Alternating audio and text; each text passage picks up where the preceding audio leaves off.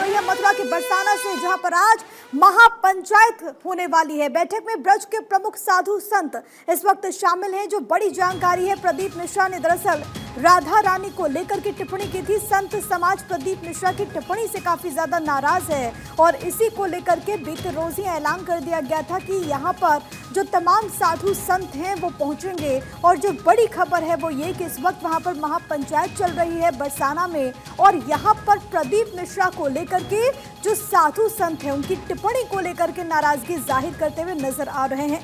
दरअसल पंडित प्रदीप मिश्रा, जो कि कथावाचक हैं, राधा रानी को लेकर के उन्होंने टिप्पणी कर दी थी, जिसमें उन्होंने कहा था कि राधा रानी वहाँ की है ही नहीं, और इसी को लेकर के जो साधु संत समाज है, वो लगातार नाराज़गी ज़ाहिर कर रहा है। इसको लेकर के भी विरोध ज़ाहिर किया जा चुका है और आज महापंचायत हो रही है। दीपक मेरे साथ मेरे सहयोगी तमाम जानकारी के साथ इस वक्त कनेक्टेड हैं। दीपक, जिस तरीके से प्रदीप मिश्रा की राधा रानी को लेकर के टिप्पणी सामने आई, तमाम साधु संतों की तरफ़ से जो प्रतिक्रियाएँ सामने आई थी, वो नाराज़गी ज़ाहिर कर रहे थे।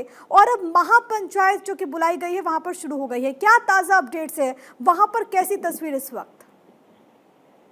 अजी देखिए, बिल्कुल मैं आपको बता दूँ, प्रदीप मिश्रा द्वारा आज श्री राधा रानी के खिलाफ जो अवैध टिप्पणी की गई, विवादित टिप्पणी, उसको लेकर के पूरे मथुरा, वृंदावन बरसाना में विरोध है और लगातार विरोध बढ़ता जा रहा है, क्योंकि इनके द्वारा टिप्पणी में कहा गया कि राधा रानी बरसाने की नहीं थी, इसको लेकर के आज बरसाने में महापंचायत और महापंचायत में वहाँ के पंडा समाज के जो लोग हैं, लाखों की संख्या में वहाँ पे लोग एकत्रित हो रहे हैं और वहाँ पे आप वो अपना फैसला सुनाएँगे कि कथावाचक प्रदीप मिश्रा द्वारा जो विवादित टिप्पणी दी गई है, उसको लेकर के क्या उनके खिलाफ कार्रवाई करनी है? लगातार विवाद बढ़ रहा है, कानूनी कार्रवाई की मांग उठ रही है। जी।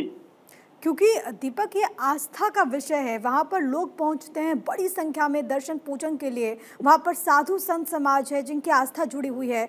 ऐसे में पंडित प्रदीप मिश्रा की टिप्पणी, इसको लेकर के जो साधु संत हैं, उनसे अगर आप बात की बातचीत हुई हो, क्या उनकी उम्मीद है इस महापंचायत से? क्या कुछ हो सकता है? क्या संभावना?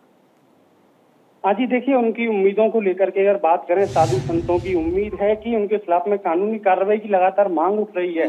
कहा जा रहा है कि इनके खिलाफ में कठोर कदम उठाया जाए जिससे कि इस तरह की अवैध टिप्पणी जो लगातार ब्रज में हो रही है राधा रानी हो चाहे वो कोई भी हमारे भगवान हो उनके खिलाफ जो अवैध टिप्पणी हो रही है ऐसी टिप्पणी आगे किसी प्रकार की ना हो सके उसको लेकर के साधु संतों में रोष है और लगातार प्रशासन से मांग हो रही है कि कठोर से कठोर जो कार्रवाई है वो उनके खिलाफ में की जाए। आज जो ब्रज के संत हैं, वो लगातार कह रहे हैं कि ऐसे कथावाचकों को ब्रज में या मथुरा में रहने का कोई भी हक नहीं होता है। जो हमारे आराध भगवान पे टिप्पणी कर रहे हैं, उनको किसी प्रकार का कोई हक नहीं है। जी।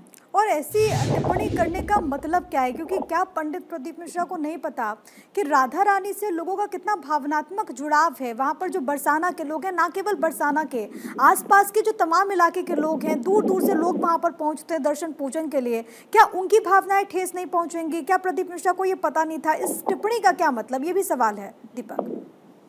हाँ जी, बिल्कुल आपकी, बिल्कुल आपने ठीक कहा। कहीं ना कहीं देखा जाए बाहर से आने वाले लाखों श्रद्धालु मथुरा, वृंदावन बरसाना राधा रानी के दर्शन करने के लिए पहुँचते हैं। जिस तरीके से अवैध टिप्पणी की गई है। उसके लेकर के देखा जा रहा है कि भारतीय जो श्रद्धालु की दर्शन के लिए आ रहे हैं, वो भी लगातार वहाँ पे विरोध कर रहे हैं। उनका कहना है कि इनको किसी प्रकार का कोई भी हक इस तरीके की अवैध टिप्पणी करने का नहीं है।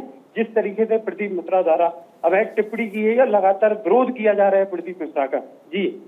प्रदीप मिश्रा की क्या इस पर कोई प्रतिक्रिया सामने आई? क्योंकि जैसा आप कह रहे हैं कि महापंचायत में और साधु संघ जो मांग कर रहे हैं वो ये कि कानूनी कार्रवाई हो इस पूरे मामले में प्रदीप मिश्रा के विरुद्ध। क्या इस पूरे मामले को लेकर के, इस महापंचायत को लेकर के अभी तक पंडित प्रदीप मिश्रा की तरफ़ से कुछ कहा गया? हाँ जी, देखिए, पंडित प्रदीप मिश्रा की बात करें तो अभी तक उनकी तरफ़ से किसी प्रकार का कोई भी बयान अभी तक सामने नहीं आया है।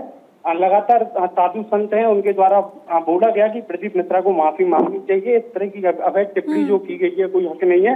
लेकिन अभी तक प्रदीप मिश्रा का कोई भी इस तरीके का बयान या कोई टिप्पणी या कोई वीडियो अभी तक सामने नहीं आया है। जी। दीपक बस एक छोटा सा अपडेट ये दे दीजिए कि इस महापंचायत में अभी तक कितने साधु संत वहाँ पर पहुँचे हैं? कौन कौन से बड़े चेहरे जो की इस महापंचायत में शामिल है? और कब तक फैसला होने की उम्मीद?